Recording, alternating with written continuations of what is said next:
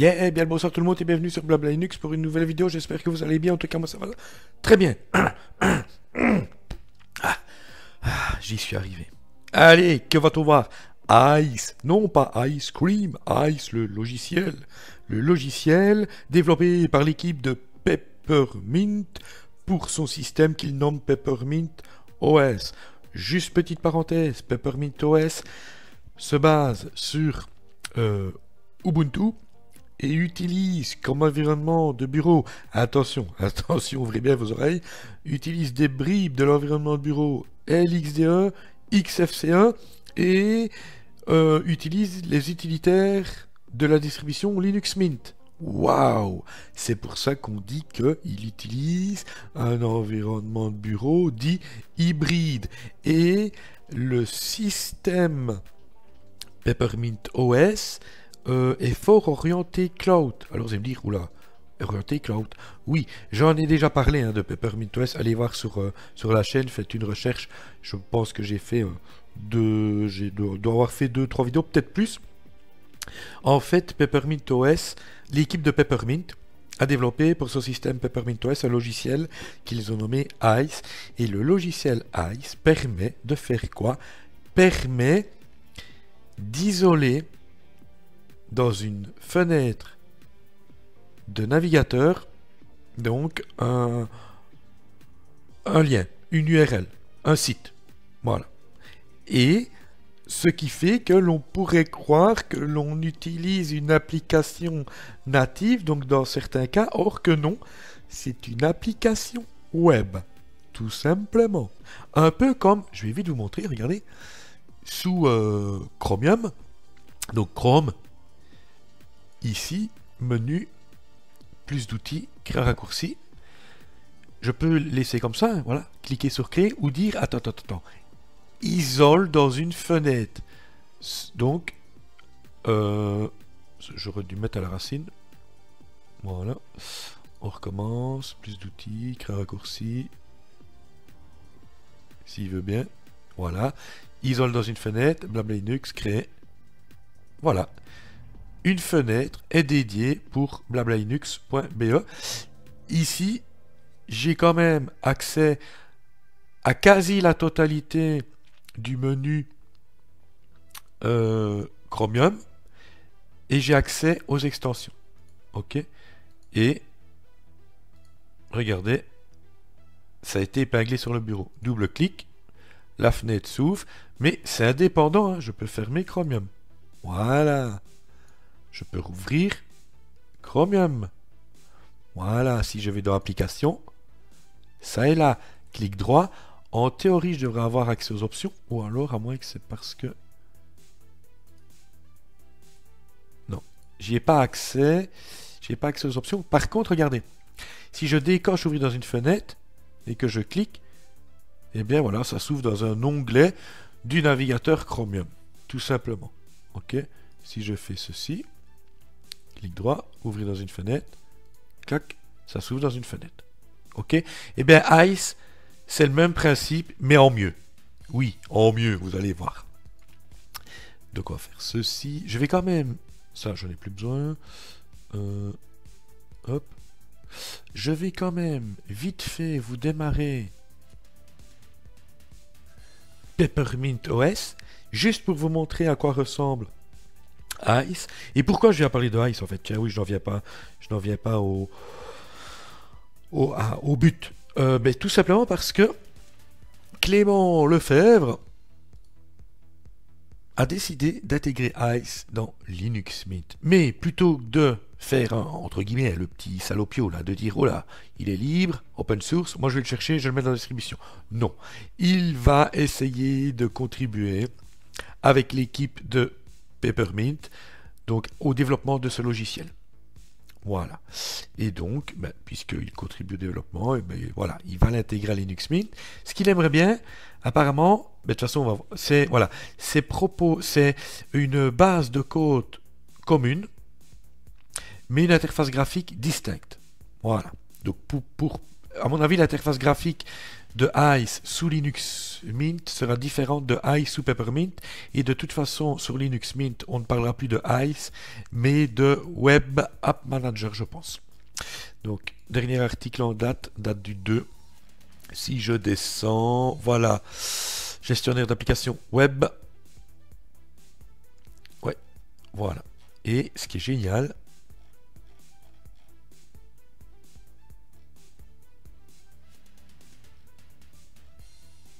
Si vous souhaitez essayer Web App Manager, une version bêta est disponible ici. Il est presque complet, mais n'est pas encore entièrement traduit. Ce n'est pas grave, on va vite tester ça. Mais avant, avant, je me connecte à ma session sous Peppermint OS. Je vais juste démarrer Ice. Regardez, menu principal des applications. Si je vais dans Bureautique, et là vous dites, waouh, il y a Gmail. Waouh, il y a Google Calendar, il y a Google Drive, il y a Excel, donc Microsoft euh, Excel, OneNote, PowerPoint, Word. Waouh, application native? Non, application web. Regardez, Gmail. Ça, c'est le boulot de ICE d'isoler dans une fenêtre de navigateur, donc une URL, un lien, une page web. On va continuer. Word. Voilà, vous avez compris le principe. Et si je démarre Ice, voilà à quoi ça ressemble. Oui. Donc tout ça, c'est Ice. Ok. Voilà. On ne va pas s'attarder plus longtemps. Je vais démarrer ma Linux Mint. Voilà et on va installer en version bêta Web App Manager, donc le gestionnaire d'applications web.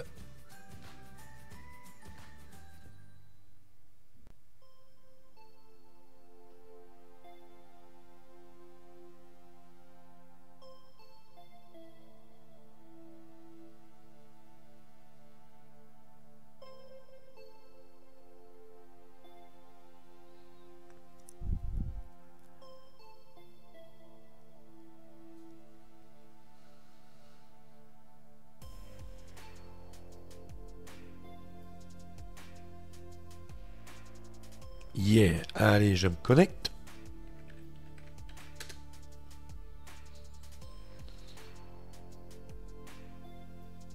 La première chose que je vais faire, c'est faire un petit sudo apt update, juste ça. Et évidemment, la fenêtre de bienvenue vient m'ennuyer. Voilà. Je vais chercher le lien. Donc je copie l'adresse du lien. Hop là. Je vais démarrer Firefox. Voilà. Je colle et j'ouvre. J'enregistre le fichier. Oula, 31 KO. Gestionnaire de fichiers, téléchargement clic droit, ouvrir avec l'installateur de paquet G2B.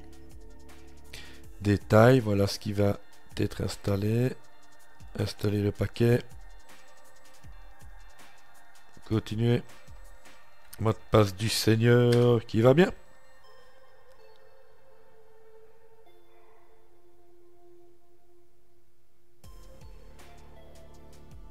Et voilà.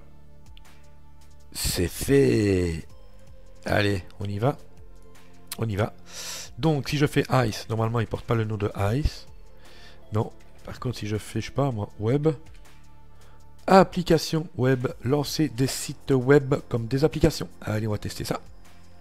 Ah oui, voilà. Base de code commune, interface graphique différente. Mais c'est pas plus mal en fait. C'est pas plus mal. À propos, application web version 1.0.3, lancer des sites web comme des applications. Et si je clique là, ah voilà, GitHub, Linux Mint, Web App Manager. Pas mal. Pas mal, pas mal. Testons ça. YouTube.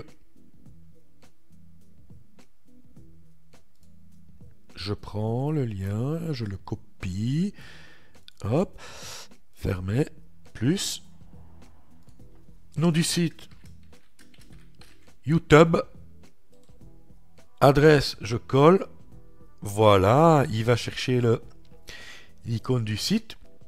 Oui, il connaît les icônes des sites les plus connus. Hein. Catégorie, ça correspond à quoi? Eh bien, ça correspond aux catégories de votre menu principal des applications. Internet, navigateur, ben, il n'y a que Firefox installé, mais si j'avais, je sais pas moi, donc en plus de Firefox, euh, euh, je sais pas moi, ben, euh, Chromium ou Chrome, parce qu'ici je suis sur 20, donc on va dire Chrome, je sais pas, Vivaldi, ben, je pourrais choisir. Oui, parce que Ice n'est pas un petit nouveau, il existe depuis longtemps. Hein. Au départ, seulement Firefox était supporté. Ok, euh, je pense que c'est à partir de 2015-2016, il y a eu la possibilité de faire un choix de navigateur. Et là, euh, je pense que maintenant, ben, il supporte Firefox et tous les navigateurs base Chromium. Voilà, donc euh, Chromium, Chrome, Vivaldi. Donc, ok.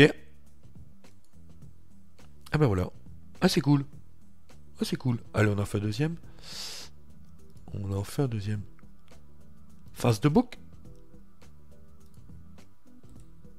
je copie, voilà, plus, face de book, face, avec mes conneries, j'ai tapé face de book, Facebook, ça c'est quand on fait le débile, yeah, Internet, Firefox, euh, ok, allez on continue, je vois qu'il y a Wikipédia, allez on va tous les faire.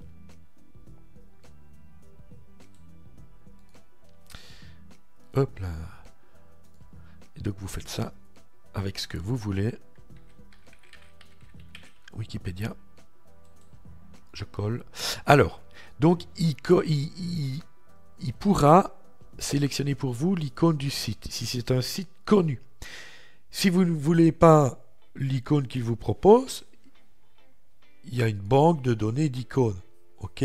Et vous pouvez même, ça arrivera, euh, ça arrivera. D'ailleurs, je vais le faire après, je vais vous montrer après. Donc, je fais OK? Si je vais chercher, par exemple,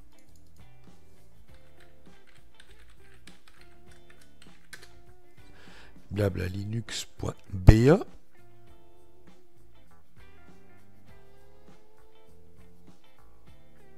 fermé. Pourtant, il y a bien favicon. Hein. On est d'accord mais je pense pas que l'icône va s'afficher. On va voir. Plus. Blabla. Linux. Je colle. Voilà, il ne va pas chercher. Donc là, je choisis un icône ou alors parcourir et je vais chercher donc un icône bien spécifique. Ok. Euh, voilà, donc là, Oh, je vais quand même le laisser. Internet, Firefox. OK. Voilà. Et je ferme Firefox. Je ferme Web App Manager. Euh, Internet. Et voilà. Donc, application web, bah, c'est l'utilitaire en lui-même. Je vais lancer donc dans une fenêtre isolée euh, le blog Blabla Linux. Voilà. Je vais lancer dans une fenêtre isolée euh, YouTube. Voilà. Même chose, on va tous les faire, comme euh, on va tester. YouTube, Wikipédia. Et nous avons... Euh, nous avons Facebook.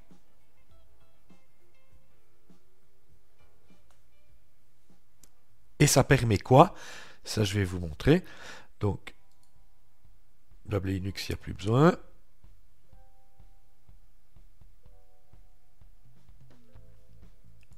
Nous avons YouTube, ok. Nous avons Facebook, ok. Et Wikipédia. Et ça permet quoi? Ça permet de faire ceci. Clic droit. Euh, Ajouter au tableau de bord. Normalement, normalement. Ah, ah, au bureau, oui. Mais par contre... Ah, si. Oh, pardon. Il a ajouté au bout. J'avais pas vu. Hop là. Supprimer. Voilà. Donc, déplacer. Voilà. Donc, Internet. Euh, je sais pas moi. Euh, hop. Regardez. Tout marche. Hein, ajouter au bureau. Voilà. Hop. Ajouter au tableau de bord. Voilà. Déplacer. Vous voyez C'est génial. Vous les supprimez. Vous supprimez. Et là, vous pouvez les lancer à partir de là. Hop. C'est pas mal du tout. Mais ça fonctionne déjà très bien. Et alors, oui, ce qu'on va regarder. Allô Alors, oui, ce qu'on va regarder. On va rappeler. Donc, application web. Et on va voir si on peut, euh, si on peut modifier. Donc, ajouter, supprimer. Ok. Là, c'est pour apporter des modifs. Et ça Ah, c'est pour lancer directement donc ce que j'ai mis en surbrillance. D'accord. Ok. Pas mal. On va voir si les modifs fonctionnent. YouTube. Mais une fois qu'il est écrit pour être ouvert avec un navigateur, on ne peut pas on ne peut pas modifier et choisir un autre navigateur. Donc je l'ai mis dans quoi? Dans accessoires? Oui. Ok. Là, je peux supprimer, oui. Supprimer. Hop là, supprimer. Hop là, on va modifier ça. Donc je fais ceci. On a dit, on a dit euh, Internet.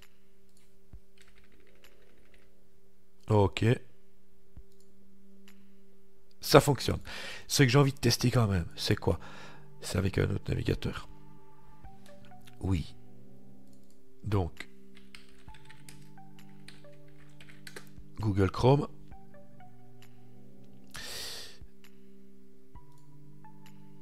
Téléchargeons Google Chrome.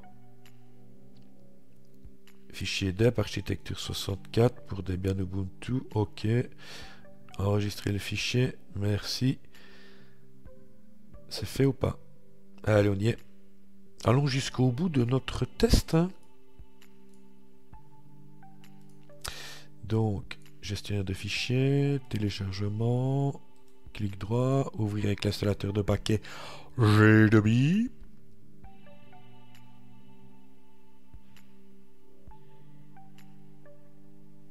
Détail. Ok, va chercher ce qu'il faut, installer le paquet. Continuer. Mot de passe du Seigneur qui va bien, vous connaissez la chanson maintenant.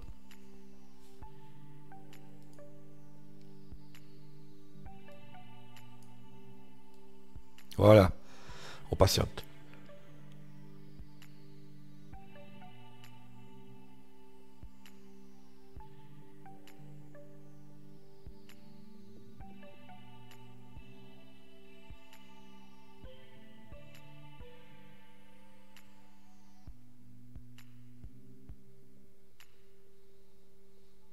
Ok, c'est bon. Hop là. Donc, ce que l'on va faire, nous allons faire ceci. Euh, il m'énerve le Linux n'est pas le bon icône, donc je le vire. Ben voilà. Au moins, j'ai testé le fait de pouvoir supprimer. Euh, euh. Donc, je vais supprimer YouTube. Voilà. Facebook. Euh, Qu'est-ce que je voulais faire moi? Je sais plus. Ah oui, voilà. Déjà lancé euh, Chrome. Voir si c'est bon.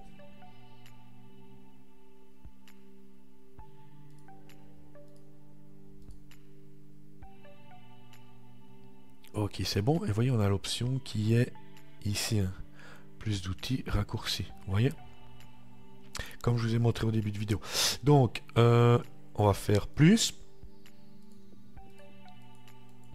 Ah, voilà. Par contre, ici, on ne peut pas, on ne peut pas choisir son navigateur. Pas encore, pas encore. Seul Firefox est supporté. Ah merde, ça c'est con. Ça c'est con. Et si je redémarre maintenant, je vais le faire. Hein. Si je redémarre Peppermint, voilà, vite fait, bien fait. Au moins, ben, j'ai testé. Ok, donc il n'y a pas encore le support euh, des navigateurs basse Chromium. Est-ce que ça viendra ou est-ce qu'on va être amputé de cette option sur, euh, sur ICE version Linux Mint, donc sur Web App Manager? On verra. Ce que je peux peut-être faire quand même? Je vais quand même redémarrer ici. Voilà. Je me connecte de nouveau à la petite menthe poivrée, pas mentholée, poivrée. Ok, je vais chercher donc mon ami Ice ici. Hein. Et, et, et, voilà, Firefox, Vivaldi, Chromium, Chrome. Ok. Et voyez, donc l'isolation, de toute façon, si on utilise Firefox, c'est voilà, ce sera toujours le cas. Par contre, si on utilise un autre navigateur, on pourra choisir d'isoler ou pas. Ok, d'accord. Mais là, on a le choix du navigateur.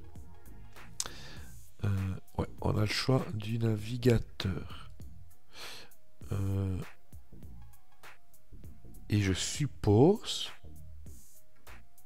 je suppose que si j'installe, si je peux pas cocher euh, Chrome, et je suppose que si, que si je l'installe, donc que je fais Google Chrome,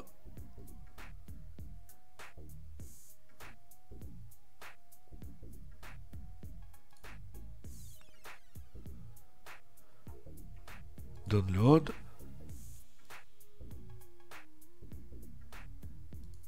sauvegarder, ça va vite, ça va vite. Donc, téléchargement.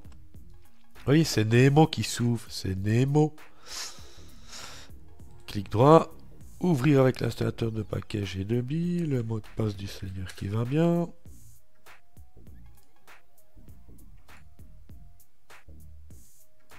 Je vais fermer Ice, on le rouvrira après.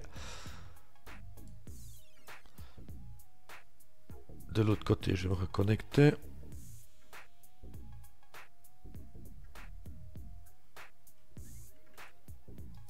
ça bug un peu. Peut-être faire ça. Faire ça. Oh, ça bug, ça bug. Installer le paquet.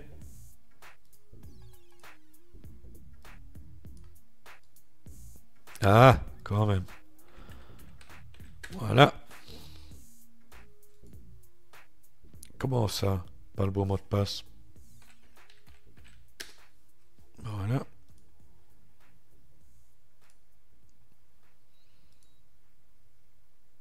Je vais rechercher de nouveau donc Web App Manager. Voilà. Et plus. Ah voilà, ok, on peut. Il fallait que je redémarre. Il fallait que je redémarre. Ok, voilà. Test réalisé jusqu'au bout. Donc si je mets, je sais pas moi, euh, YouTube, https youtube.com ok ouvre-moi ça c'est ah zut j'ai pas choisi euh... merde et si je fais ça? Alors voilà, je peux pas modifier le, choix d'ouverture du navigateur, donc je dois supprimer, plus. allez, on recommence. Quand on est C1, c'est pour la vie. C'est moi qui le dis. Et alors on va faire euh,